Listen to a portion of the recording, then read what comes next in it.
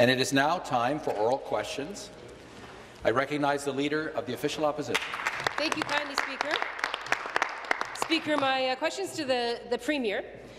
Parents and students are bracing themselves for a, a, day of job action that will close hundreds of schools across the province on Wednesday. The Ford government's ploughing ahead with classroom cuts uh, that mean larger classes and forcing students into mandatory online learning courses.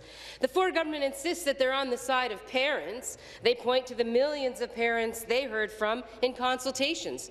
Uh, can they tell us how many parents approved of their plans for larger classes uh, in those consultations?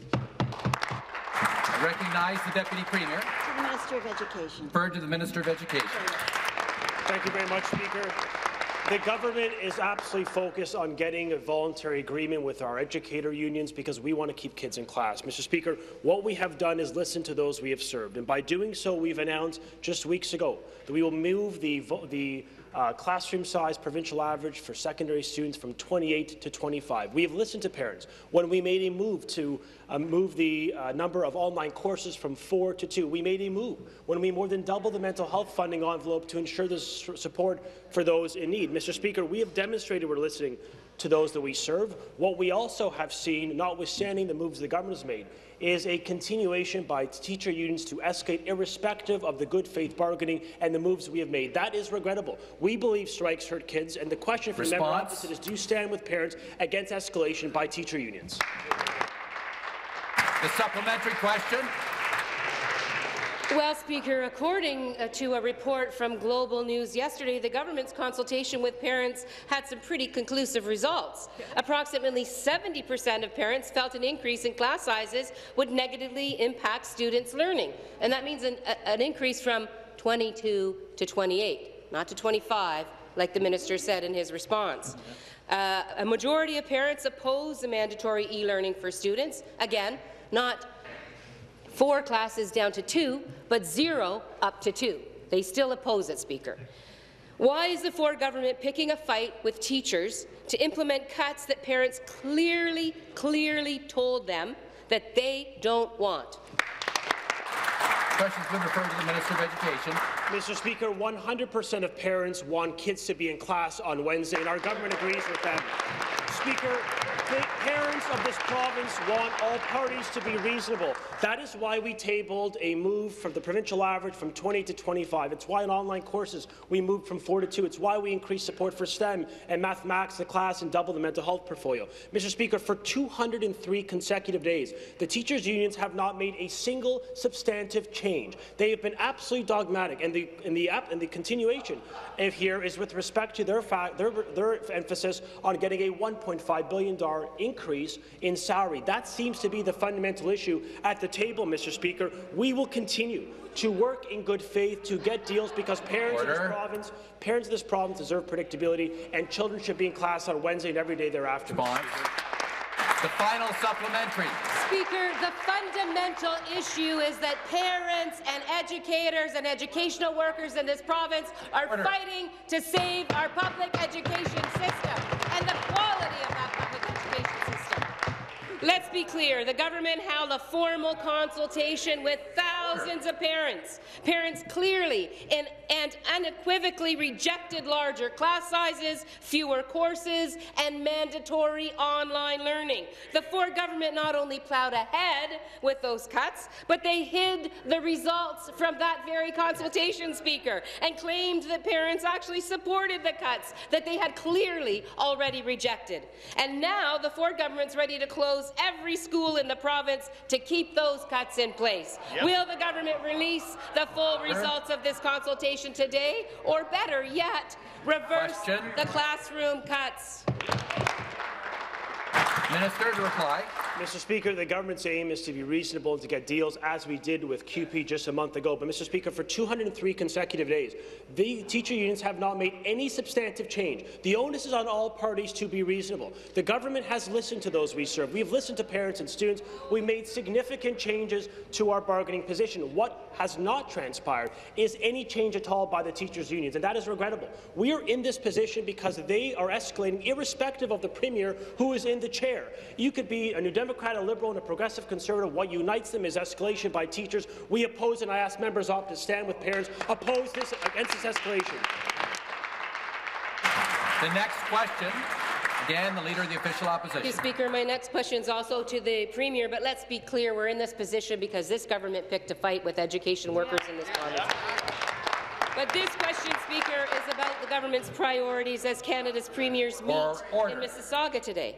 While families in Ontario are worried about hallway medicine and the high cost of drugs, Ontario's premier says that uh, uh, says that he's opposed to efforts to create a national pharmacare plan. Instead, he wants flexibility on how healthcare dollars from Ottawa can be spent. Presumably, that means the freedom not to spend them on healthcare.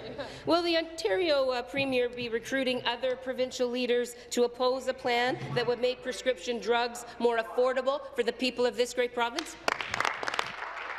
The Deputy Premier. Well, I can assure the uh, Leader of the Official Opposition that the health and safety of Ontario patients and making sure that prescriptions are affordable is of utmost priority to us. We have heard various things from the federal government. We're not exactly sure what they're going to come forward with since the election, since the report that was written by Dr. Hoskins, which is very broad and all-encompassing, or whether it's something more narrow than that. I have had one conversation with the new federal Minister of Health. I've indicated to her that the priorities for us right now are making sure that we can afford and deal with the orphan and rare disease drugs that are increasing our health costs by dramatic levels each and every year. I think there's a lot that we can focus on. I look forward to the first meeting with the provincial territorial leaders in healthcare with the new federal minister to discuss this. The supplementary question. Well, Speaker, the best way to make uh, drugs universally affordable to all Ontarians is through a universal pharmacare plan. I would, I would ask the uh, minister to take that into consideration. Look, the Premier has also made a name for himself across the country, leading the war on the environment, fighting any effort to put a price on pollution or address the climate crisis. So, will Ontario's Premier be recruiting other provincial leaders to join his lawsuit against the federal government's climate plan? Deputy Minister Premier. of the Environment. Referred to the Minister of the Environment, Conservation and Parks. Thanks very much uh, from the member opposite, and uh, we just uh, celebrated our one-year anniversary of our Made in Ontario Environment Plan, Mr. Speaker. And we've taken drastic steps over the last year to lay the groundwork to reach our, our emissions target of 30 percent below uh, 2005 levels by 2030, Mr. Speaker. Uh, right now, I, today and later on, I'll be meeting with the Federal Minister of the Environment, and we're going to have that discussion about our, in, our performance standards uh, that we've, uh, we've uh, put forward towards the ministry, and that will allow us to ensure that the heavy polluters of this province are, are, are, are paying their fair share with regards to their pollution, but also working with them to lower their emissions so that we can start tackling the emissions within our province, Mr. Speaker. The member opposite, the leader opposite, has no plan on the environment, Mr. Speaker. All they talk about is tax it. They have zero plan Response. for the environment. I'm looking forward for them to join in the conversation, give us some ideas other than a carbon tax is going to do nothing but cripple low and medium income people throughout this province, Mr. Speaker. Thank you. Supplementary. Well, Speaker, I dare say that was probably a pretty sad celebration. Uh, look, as Ontario parents are wondering whether schools will stay open all week, the Premier has been making a play for the national stage. But instead of putting forward a vision that would actually help Ontario families who are struggling with the cost of drugs, or put Ontario at the front of the clean energy economy, the Ford government's vision for Canada is a country with no pharmacare and no plan for climate change. Does this Ontario Premier really think this is the leadership that Ontario families deserve? Minister of the Environment.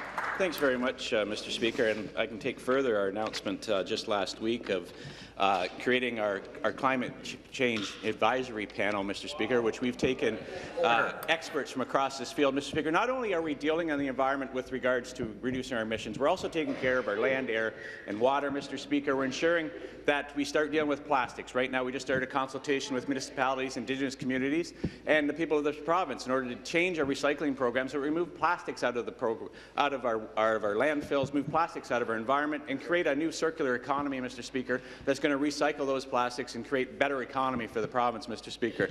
Our, uh, we in, in, announced our uh, impact uh, assessment uh, analysis throughout the province, so we know what key areas that we can plan for down the road, so municipalities and Indigenous communities can actually focus on what climate change is going to be doing to the Response? region, so they can make smart investments, Mr. Speaker. That does include new technology, but also includes innovative ways that individual people in this province can move forward to clean up our environment. And I'm proud of our plan going forward, Mr. Speaker, as is the government of this province.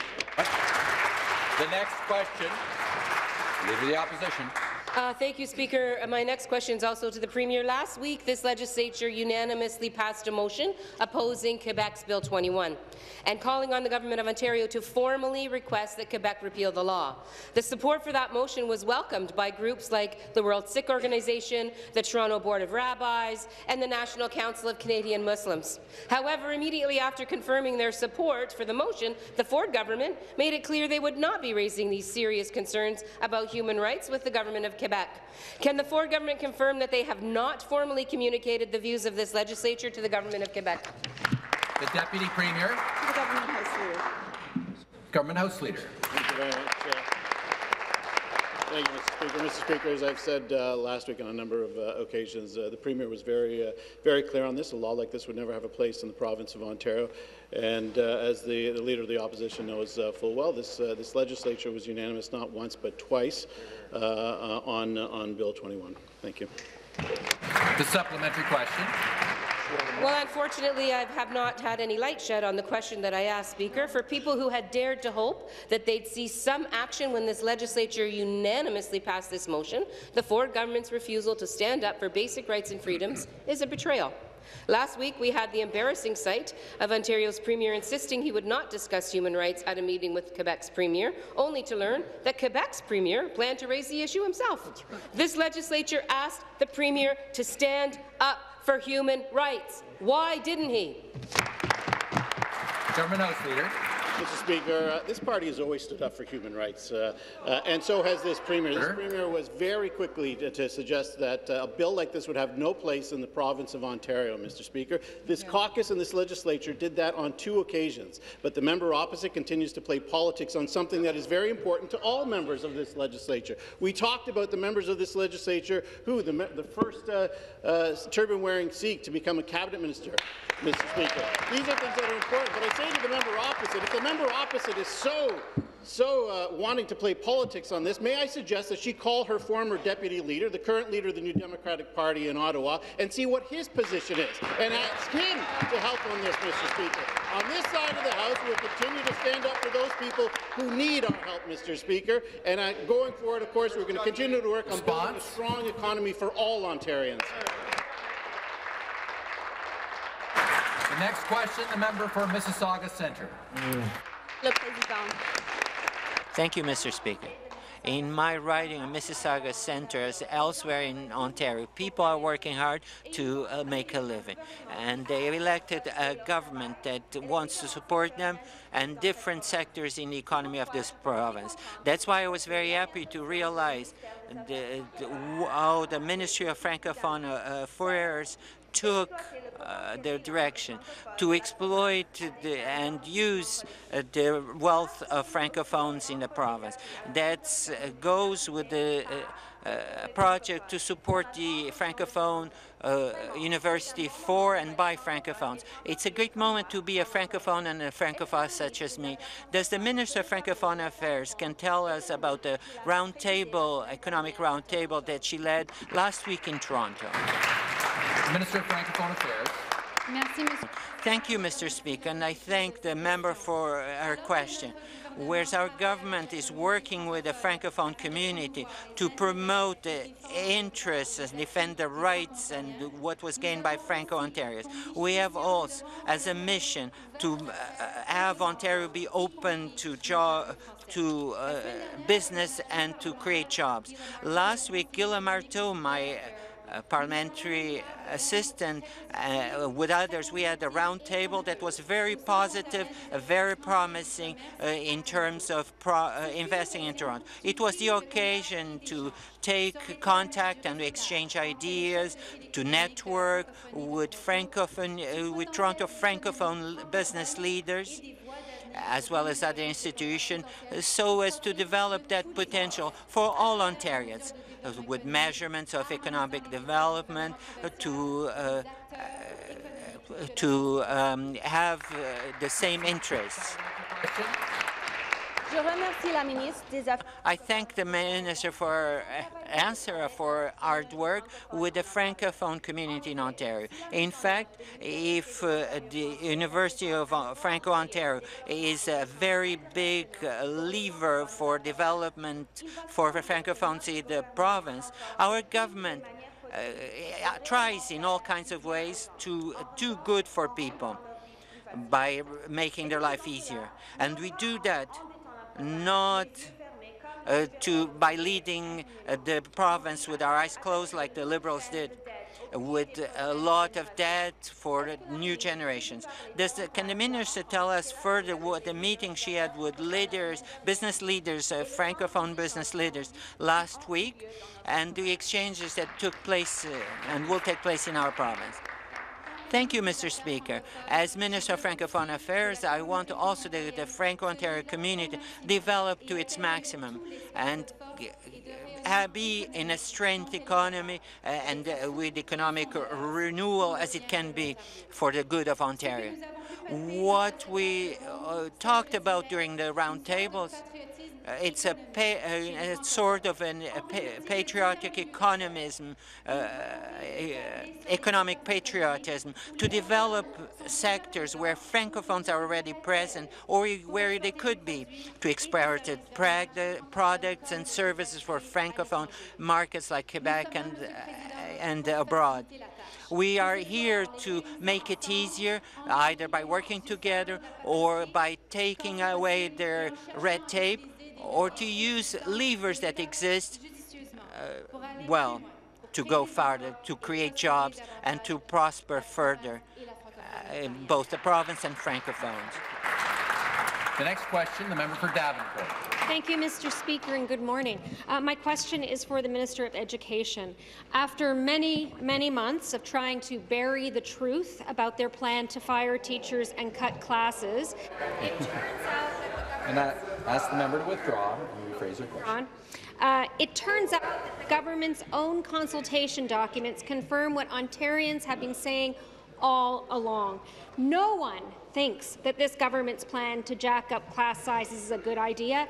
They never asked for it. They don't want it, period.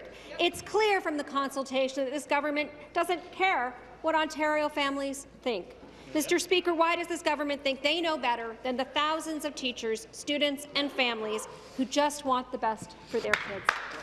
The questions to the Minister of Education. Thank you very much, Mr. Speaker, and thank you the, to the member opposite. Mr. Speaker, all parties at the table must be reasonable, and this government has demonstrated a reasonable posture and a focus on keeping students in class. Mr. Speaker, it is the impetus for why we made a move to go from a 28 provincialized average to 25. It's why we went from four online learning courses to two. Mr. Speaker, it's why we're preserving the lowest classroom size in the nation for our young for our early years. Mr. Speaker, we're doing this by investing in public education. What we expect is for all parties to be reasonable. For 203 consecutive days, the unions have made no change at all to their position, not a single substantive move, and I think that is unacceptable. I think strikes hurt kids, and the question for the member opposite is, do you agree?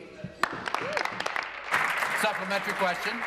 Mr. Speaker, when you cut your cuts in half, that doesn't make an improvement. Class sizes, class sizes aren't up for negotiation. Parents don't want it, students Order. don't want it.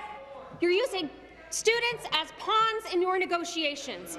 While Order. this government continues to escalate... Stop the clock. Okay. The member for Davenport has the floor. She's close to me. I should be able to hear her. I need to be able to hear her. I would ask the House to come to order. Start the clock. Member for Davenport.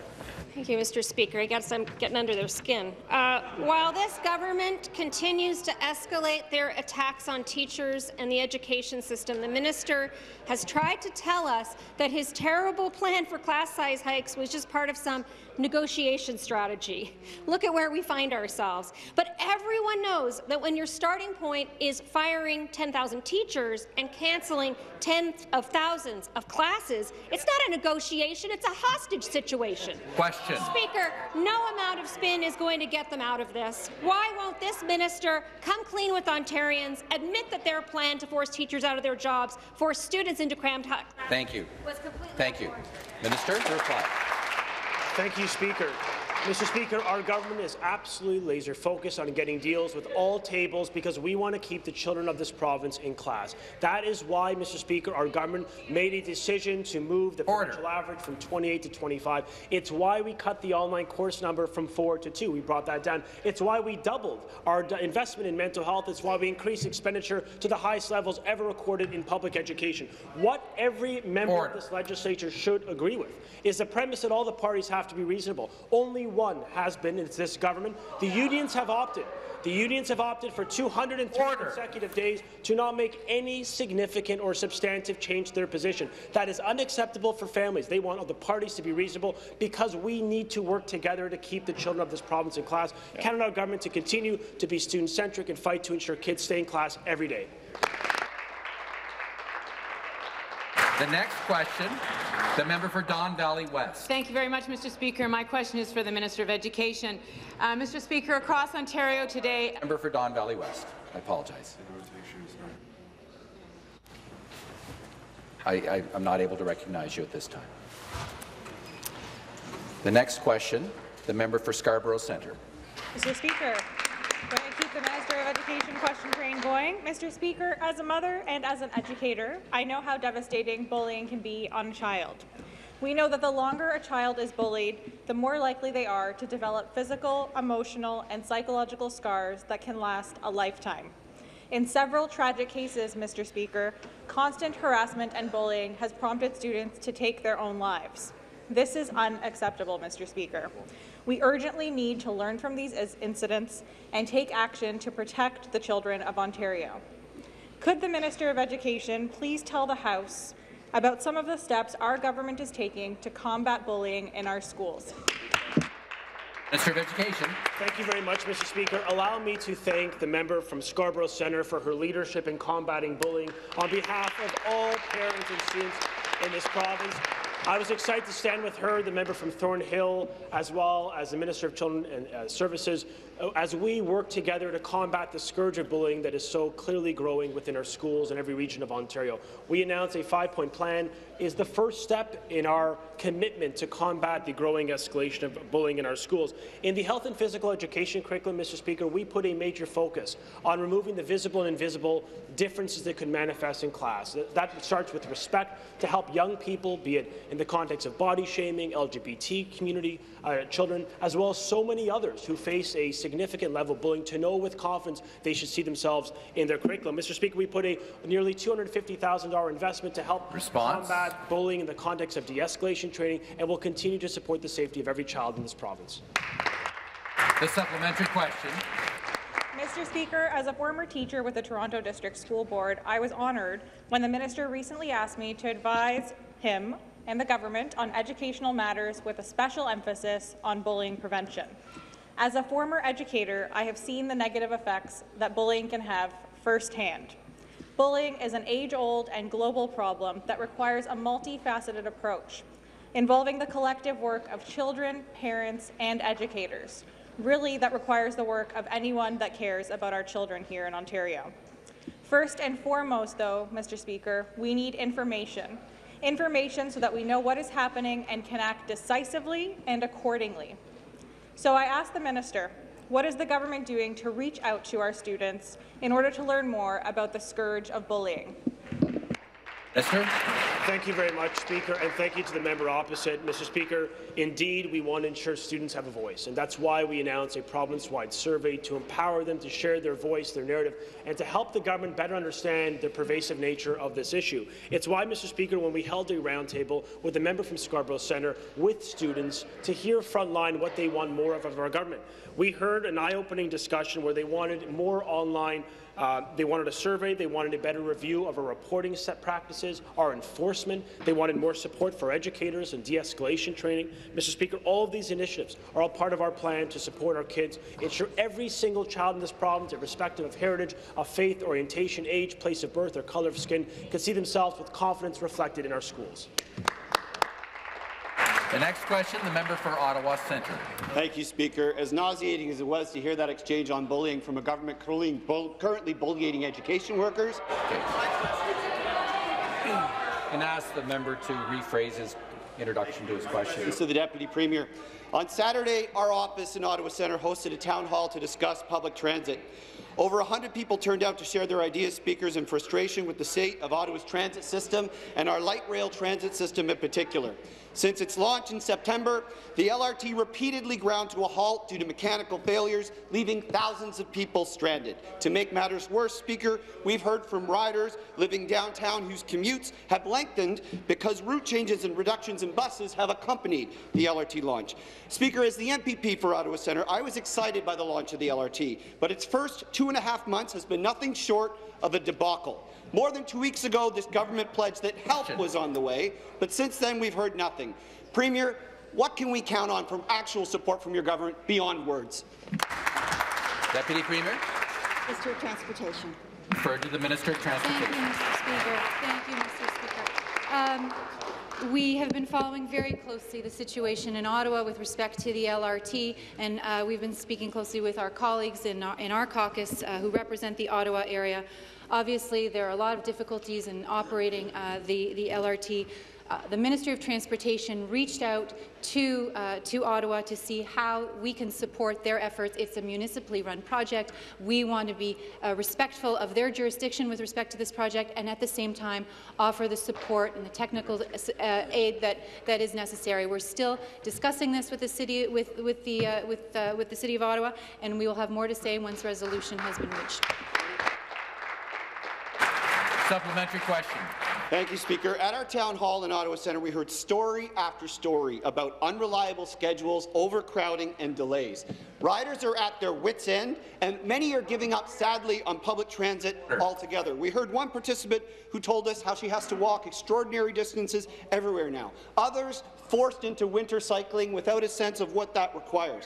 Another simply saying they were, they were stranded, Speaker, from picking up their kids at the end of the day. These are real meaningful hardships, not uh, not even counting people with disabilities, whose impacts are faced even harsher. Speaker, public confidence in this LRT cannot get much lower, but the public-private partnership model, supported by the previous Liberal government and this government right over here, is leading to secrecy and problems for people in our profession, politics, getting Order. to the bottom of this problem. Question. The province has invested $1.2 billion to the second phase of LRT. We want to know in Ottawa how are you working to make sure bad mistakes aren't repeated? How are you making sure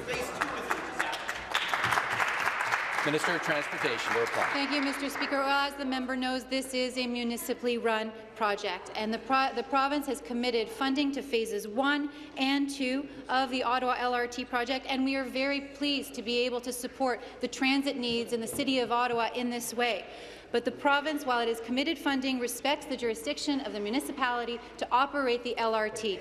That said, we have reached out and officials are working closely with the City of Ottawa to see how we can help them resolve the issues because we don't want to see transit riders in the City of Toronto, in the City of Ottawa stranded. We're continuing to work with them, and when we have been able to come to some agreement with the City of Ottawa on this, we will have more to say. In the meantime, we are supporting their efforts. It is a municipally run project. The next question, the member for Kitchener-Conestoga. Well, thank you, Mr. Speaker. My question is to the Minister of Infrastructure. Ministers, this summer it was my pleasure to have you join my colleagues and I in Waterloo Region to announce Ontario's investments in transit infrastructure. And I want to also acknowledge that Premier Ford visited to further support our government's investment in transit for the region. Our government is investing more than $61 million to support transit and road projects that will see improved service for the people living in Waterloo Region. All three levels of government must work together to ensure these important infrastructure investments are made across the province, and I believe the federal government has already indicated support for these important projects. Can the minister advise if there are any other transit projects that Waterloo regions and the Waterloo region can look forward to in the near future? Minister of Infrastructure. Thank you, Mr. Speaker, and I'd like to thank the member from Kitchener Conestoga for his question, his representation for his riding and his region. Ontario is investing more than 61 million for transit infrastructure that will improve services to the residents of Kitchener and Waterloo area. In addition to the transit operations facility, Ontario is investing more than 9 million, which will be used to add or replace conventional and specialized vehicles in the fleet. Our investments also include funding for the building of cycling and pedestrian bridges and trails that will lead to better integration of transit services. Our government is and will continue to work with our municipal partners, families and businesses to make smart investments in our infrastructure and keep it reliable for the people of Ontario. These projects were brought forward as priority projects for our municipal partners and are supported by the Response. region of Waterloo, Mr. Speaker, and there'll be more to come. The supplementary question. Uh, thank you, Speaker, and thank you to the Minister for your continued support for these infrastructure projects that are so important to the people of Kitchener-Conestoga and Waterloo Region. Minister, in addition to these uh, transit projects, our government is providing funding for road and bridge infrastructure. I know some of those investments include more than $469,000 in rehabilitation of the Glasgow Street North Bridge in Woolwich, and more than $1.1 million for the replacement of a bridge over the Nith River in Wilmot Township. These road and bridge projects, together with the transit infrastructure projects, will benefit families, students and businesses throughout the area.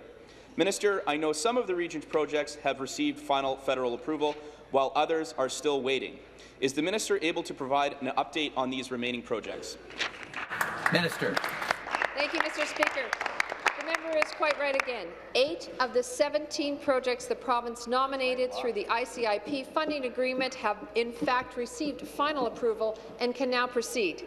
While there are nine pending approval, I remain optimistic that the new federal government in Ottawa will move quickly to approve these projects, thus allowing the municipality to move forward.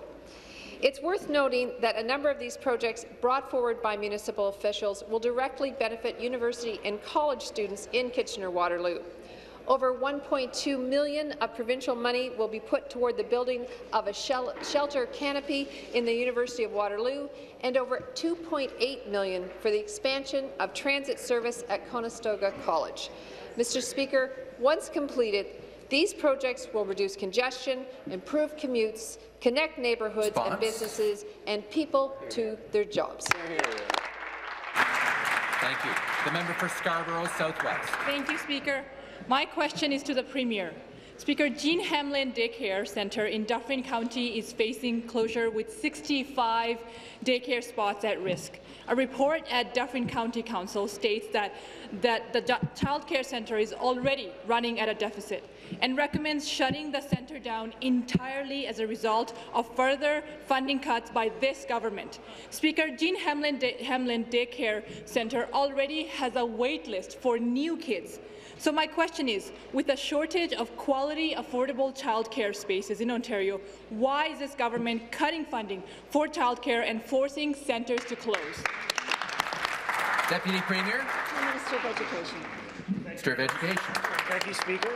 On the contrary, the government is investing over $2 billion to build tens of thousands of childcare spaces in every region of Ontario. Mr. Speaker, in addition to a $2 billion allocation to build 30,000 new childcare spaces, 10,000 new schools, 20,000 existing schools, we also, to the, being the only political party in this legislature that believes in parental choice for childcare. The member opposite does not support, or her leader does not support, as do the Liberals.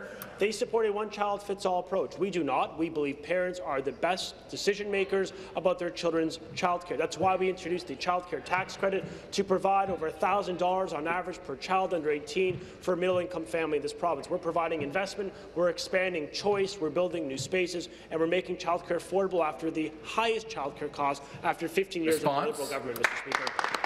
The supplementary question. Speaker, sounds to me like this government is irresponsibly spending people's hard-earned dollars, and yet people of this province are struggling. These parents have been told to look for daycare options elsewhere in Dufferin County. For families in Orangeville, that means finding new private daycare spots some 25 kilometres away in Shelburne or Grand Valley.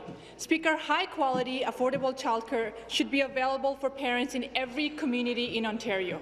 Will this government stop their reckless cuts and clearly irresponsible spending so that parents in Orangeville and across the province don't lose any more daycare in their communities? Thank Order. you.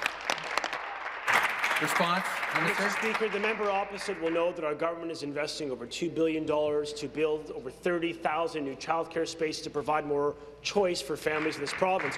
Mr. Speaker, the, the specific example cited is a decision exclusively made by the municipality. However, the Solicitor General of this province was proud just weeks ago to announce in the French board in her riding new childcare spaces for families in her community. We're doing that because we believe in choice, we believe in both institutional daycare and providing a, a childcare benefit for every middle-class family who's eligible, up to 75% of expenses, putting over $1,000 per child in the pockets of working families. Mr. Speaker, this is the approach of our government, more choice, more options and more monies in their pockets.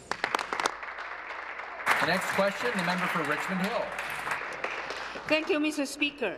My question is to the Minister of Economic Development, Job Creation and Trade. Minister, you rose in the House last Monday to speak about the great success our government found last week. Thank you for your success in India. My businesses in riding of Richmond Hill are very excited. You have already secured investment deal with WDN Technologies for the people of Kitchener-Waterloo, a deal that will bring over 200 new skilled, high-paying jobs for workers and families. Can the minister tell this House what further agreements were signed while you were leading your business mission in India? Minister of Economic Development, Job Creation and Trade. Thank you to the member from Richmond Hill for the question. Uh, Speaker, during the mission, Seneca College was also able to sign three MOUs that will promote the exchange of information and expertise. Ontario's academic institutions offer cutting-edge training, skills development and services that are in global demand. 52,000 uh, students from India are in Ontario. Ontario's business delegation had 150 business-to-business -business meetings with Indian businesses to explore opportunities for future partnerships, including India's infrastructure needs. This will give Ontario businesses a competitive advantage in accessing contracts for the $1.5 trillion in infrastructure projects India is building over the next five years. India stands to benefit from Ontario's internationally Response. recognized construction technology and design, and our mission was key in building and strengthening those relationships. The supplementary. Thank you, Minister. It is great to know our government is doing its part to help Ontario workers, businesses get access to some of the world's fastest growing and most lucrative markets. Minister, we know as part of your business mission, you met with international leaders in the infrastructure sector and managed to secure deals which will benefit the people of Ontario who work in that space. Well, India also has one of the largest information technology sectors in the world. Can the minister explain what progress was made having the people of Ontario increase access to this exciting market in India? Minister. Speaker, during the mission, we met with representatives from the state of Karnataka, home to Bangalore, India's leader in IT, to advance a formal partnership. This partnership will provide Ontario with a competitive advantage to access this market and develop opportunities for increased trade, investment and partnerships. India's information and technology sector is set to reach 350 US billion US dollars by 2025, making it the largest sourcing destination for IT. Now, Ontario is an ideal jurisdiction for partnership with India. We are North America's second largest IT cluster. So we will continue to take a proactive lead when it comes to international trade and bring our message everywhere. Speaker, we are cutting red tape and instead rolling out the red carpet. This tells people we're open for business and open for trade. The next question, the member for Toronto Danforth. Thank you, Speaker. Speaker, my question to the Premier. The Auditor General is preparing her first report on this government's so-called climate policy. The forthcoming report is expected to call into question Ontario's ability to meet its Paris Accord targets. Diane Saxe, the former Environmental Commissioner, the one this government gave a pink slip to, has said that there is, quote, no credible evidence behind the Conservative government's emission reduction forecasts. In advance of the report, coming Wednesday, is the government willing to state in the legislature today that they are on track to meet their forecast for reducing greenhouse gas emissions? Question is uh, addressed to the Deputy Premier. To the Minister of the Environment. Minister of the Environment, Conservation and Parks. Thanks very much, uh, Mr. Speaker, and uh, I look forward to the release of the Auditor General's report on Wednesday. Um, you know, I, I guess there's uh, plenty of information being spread out there, but we'll know Wednesday uh, what the report is entailing in its whole. But the one thing we have uh, we've come to see over the last year, Mr. Speaker, is that not one single plan or idea is a one-size-fits-all for any province, region, or, or, community, Mr. Speaker. And our living document, the Environment Plan, will continue to evolve over the years and change over time as new technologies become on board. And we're going to maintain our, our work towards reducing our, uh, reducing our emissions to our 30% target, and hopefully we're going to go beyond that target by 2030, Mr. Speaker. We're going to continue to partner with private business to look at their innovation, because we know we're going to have to partner with. We're going to partner with other levels of government, municipal and federal, to ensure we're working together on a common goal to reducing Response. our emissions, Mr. Speaker. We've done a lot of things this year that are going to pay benefits down the road. For instance, uh, the Watay, Watay Power Corporation that we've made amendments towards so they can start building their transmission lines to remove seven diesel uh, communities. Thank you very much. Thank you. A supplementary question. Thanks, Speaker. So I guess they're not on track to meet their commitments. so again to the Premier. To quote the former Environmental Commissioner, quote, the government's climate change plan doesn't add up. So far, this Conservative government spent at least $231 million to cancel green energy projects that were already underway. It tore electric vehicle charging stations out of the ground. Order. It cancelled the successful Green On home energy program, throwing homeowners and businesses into chaos. It wasted millions of taxpayer dollars to take the federal government to court. And it quoted climate denial blogs in this House. That's not a plan, Speaker. Ontarians deserve better. Right Will the government today commit to changing course, accepting the science, and coming up with a real climate change plan? Minister. Uh, Minister of Energy.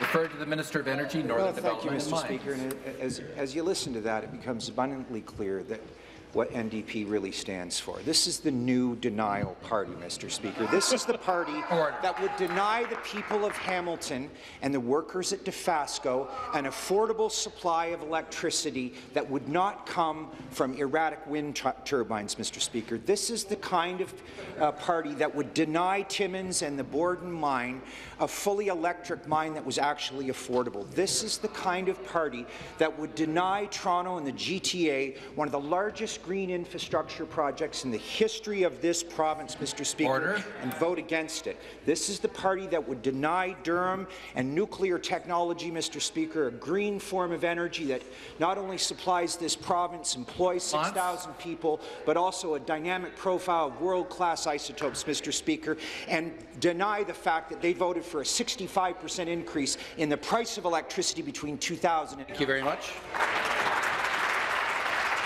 The next question, the member for Perth Wellington.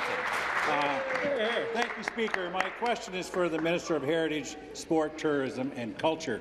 Minister, I know, uh, I know you recently attended the Boating uh, Ontario conference in Niagara Falls, where there were over 300 recreational boating industry leaders and decision makers. In my riding of Perth Wellington, we are blessed with some beautiful waterways which are perfect for recreational boaters. It's also a popular summer activity in my riding, although I know its impact province-wide is much larger. Minister, can you tell us what kind of impact the recreational boating industry has on Ontario?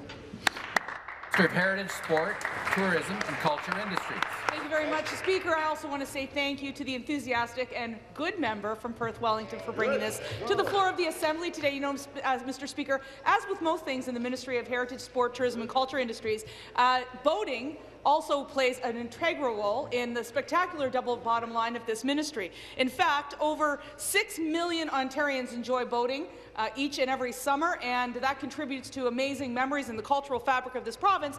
But in addition to that, Speaker, the recreational boating industry accounts for over 30,000 Ontario jobs, contributing to over $4 billion in revenues for the province, uh, and, and, sorry, revenues total, resulting in an impact of approximately $2.3 billion in revenues for our province to continue to build roads, bridges, and other valuable infrastructure. So, Speaker, I look forward to the supplemental, but I want to assure the minister that we, or the member that we're taking this very seriously, and we want to continue to support the Ontario Boating Association. Supplementary question. Mr. Ste uh, Mr. Speaker, it's certainly encouraging to hear how well our recreational boating industry is doing in Ontario and to hear what a great impact they have on the province, both financially and in terms of job creation. In my writing, recreational boaters flock to places like Conestoga Lake. It attracts tourists from, from the region, across the province, and also from out of province. Local businesses that support these boaters are valuable job creators and respected members of their communities who have a measurable local impact. Can the minister tell the legislature what she and her ministry are doing to support this important industry? Minister. Thank you very much to the member. We want to assure that the Ontario Boating Association and those six million Ontarians have smooth sailing on some clear waters across Ontario, Speaker. We want to make sure that they're continued to be supported and they know they have a business-friendly, job-friendly and boating-friendly government here in the province of Ontario. And that's why last week at the Ontario Boating Conference in Niagara Falls, I was able to announce funding of up to $14,000 from the Tourism Development Fund for their 2020 Waterfront Tourism Summit at the Toronto International International Boat Show this coming January. Speaker, this is an important part of our spectacular double bottom line, and this ministry is committed to ensuring that we are open for business, open for jobs, and open for boaters. The next question, the member for Toronto St. Paul's. Good morning, Mr. Speaker. My question is to the Minister of Education. Last week, the government announced the next steps in their review of anti-black racism at the Peel District School Board. Many in our black communities were frustrated to hear that neither of the reviewers are black.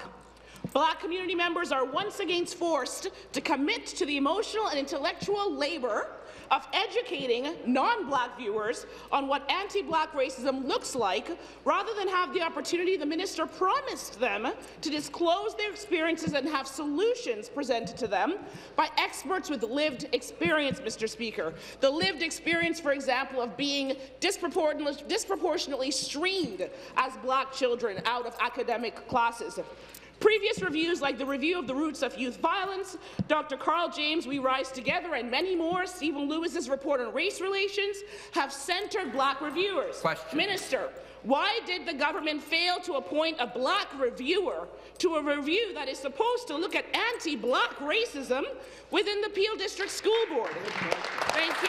Minister of Education.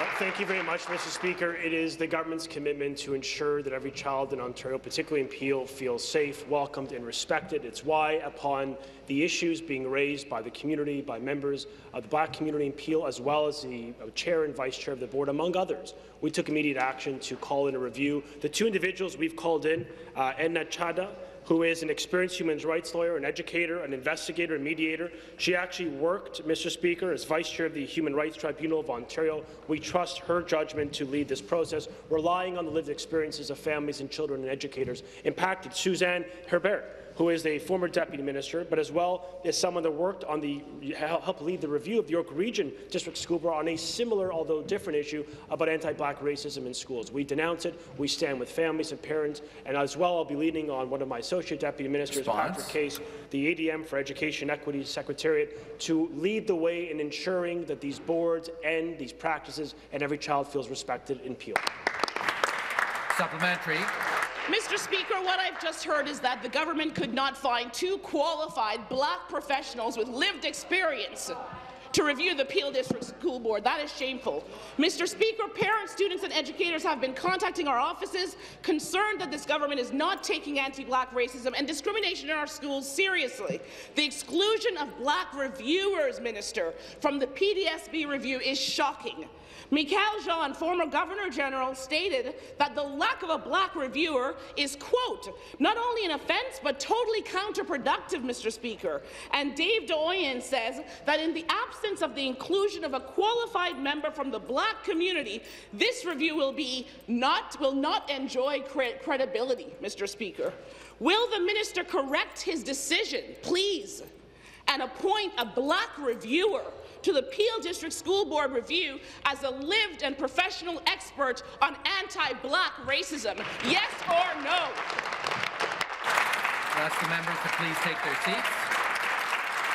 Minister of Education reply. Thank you, Mr. Speaker. We are absolutely committed to combat these very serious allegations of systemic racism within our schools in Peel Region and in all boards across the province. The allegations are serious. It's why, upon hearing about them directly from parents and students and educators and administrators, we took immediate action to call in reviewers. One of the reviewers is the same reviewer that helped us under the former government, but helped the York Region Board deal with systemic issues of discrimination. My Associate Deputy Minister, the Education Equity Secretary, Patrick Case, is a leader within the black community, is a human rights lawyer, is a person of impeccable integrity who's committed to work with both reviewers to ensure accountability, to ensure those young people's voices are heard. In fact, I met with members of the Peel Region Board uh, members, rather, both trustees and students just last week with members of the Peel Caucus in our government to listen firsthand about the allegations. They are disturbing, and it is why, Mr. Speaker, we are acting swiftly to ensure there is transformational change in Peel.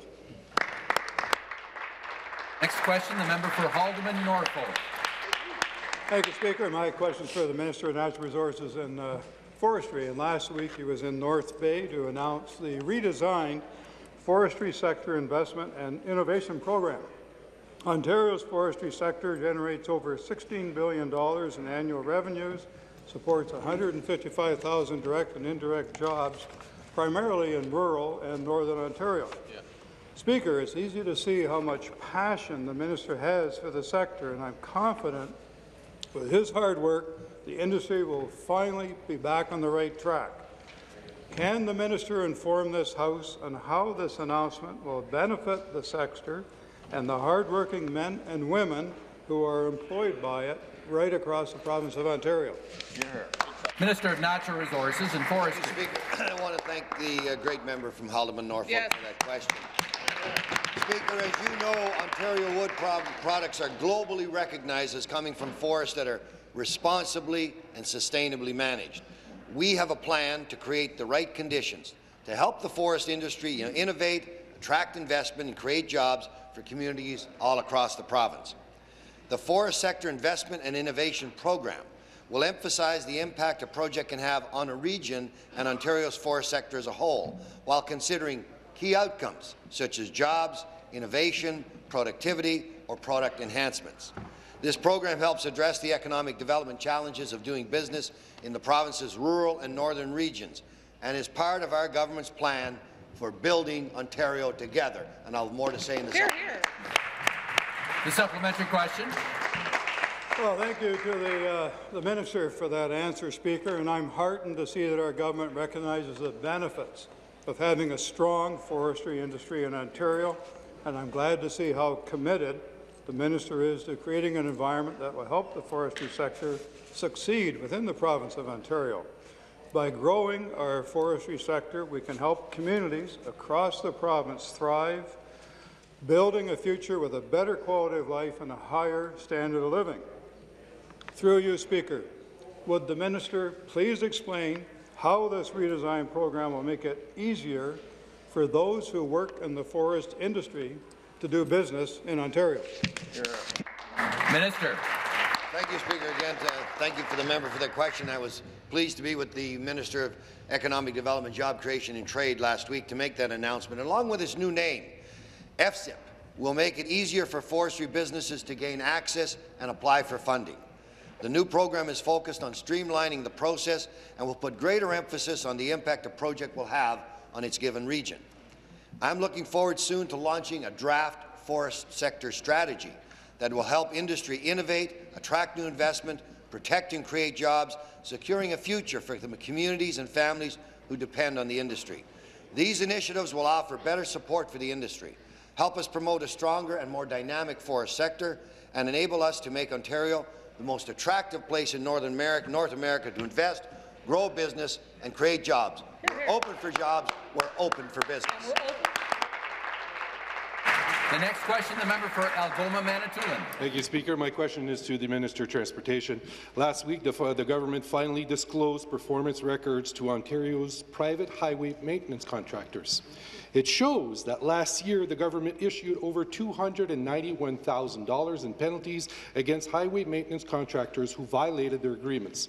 Why? Due to not taking care of the highways, not proper sanding, not meeting certain time limits. Why does this minister think that the people in Sault Ste. Marie, where the service provider was violated the most, who services not only Sault Ste. Marie, but the entire region of Algoma Manitoulin, why does she think that the performance company are there to keep, are not there to keep our roads safe? The Minister of Transportation. Well, Mr. Speaker, um, as the member knows, I, it is the position of this minister and this, the Ministry of Transportation that, uh, that the goal is to keep our roads safe and to pave our highways as quickly as possible so that motorists can travel along our roads safely and quickly, Mr. Speaker. And we take, uh, we take this responsibility very seriously, and our private contractors that work uh, for the Ministry of Transportation are doing a good job, Mr. Speaker, of clearing our roads and getting to bare pavement as quickly as possible, and doing so beating standards uh, at, at the top class highway across the province. Mr. Speaker, we are doing everything that we can to find ways to enhance our service levels in the north and across the province, and we will continue to do so. The supplementary question. Minister, I was on those highways last night, and I have to tell you, they, you missed the goal. Uh, the, the standards were not even met. I would invite you at one point or another to come to Northern Ontario and visit our roads. Earlier this winter, or just a couple of weeks, my colleague introduced a private member's bill that would end second-class treatments of Highway 17 and 11 and to ensure that they're plowed as quickly as possible at the same level as the 400 series. Instead, the government showed that they are perfectly happy to let Northern Ontarians roll the dice and get on the winter roads. Now we have learned that highway maintenance contractors are violating service agreements to the tune of hundreds of thousands of dollars. Why does the minister think Algoma and Soo families deserve a private snow plow contractor with the worst compliance record in Ontario? Minister.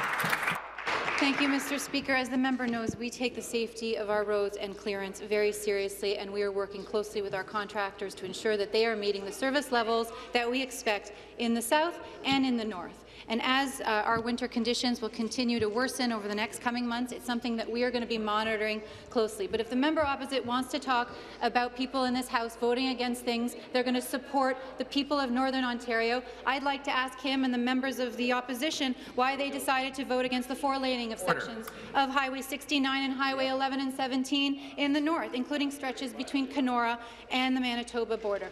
Mr. Speaker, why are they voting against measures Order. to make life more affordable for people in the, New York, in, in the north by voting against the fall economic statement, which will see a reduction in the aviation fuel tax rate in Northern Ontario. Mr. Speaker, that will go a Response. long way to making the cost of groceries go down in, this, in the north, Mr. Speaker, and making life more affordable. The next question, the member for Perth Wellington. Thank you, Speaker. My uh, question is for the Minister of Transportation. Speaker, we've heard a, a lot of great news uh, about getting subways built for the City of Toronto in recent months, but I understand the minister is focused on improving transportation options across the province, not only here in the GTA. Rural municipalities need our help to get their communities moving, and I know the Community Transportation Grant Program is a means to that end. Could the minister uh, please tell us about this important program? Minister of Transportation. Thank you, Mr. Speaker, and I'd like to thank the member for the question. We campaign on making life more affordable for Ontarians and making life easier for Ontarians. That's why the Community Transportation Program is so important. The Community Transportation Grant Program will provide up to $30 million over five years to assist municipalities to support local and intercommunity transportation projects in areas that are currently underserved or, Mr. Speaker, unserved. The municipalities will use this provincial funding to partner with community organizations to coordinate local transportation services for their communities. This is just another example of our government working together with our municipal partners to ensure that they have what they need to best serve their communities. Mr. Speaker, our government is committing, committed to getting Ontario moving because we recognize just how it is important, how important it is that every Ontarian have access to reliable transit. The supplementary question. Uh, thank you, Speaker, and thank you to the minister for that answer. It's indisputable that access to reliable transit uh, has the ability to improve the quality of life uh, for every Ontarian. Going to work, attending appointments, and visiting families and friends all become significantly more challenging when the transportation options are poor. And I can tell the minister from my riding of Perth Wellington, these projects are working very well, and thank you so much for paying attention to rural Ontario. So can the minister tell us more about how the Community Transportation Grant Program works? Minister. Thank you, Mr. Speaker, and I'd like to thank the member for all of his advocacy work on behalf of the residents of his riding.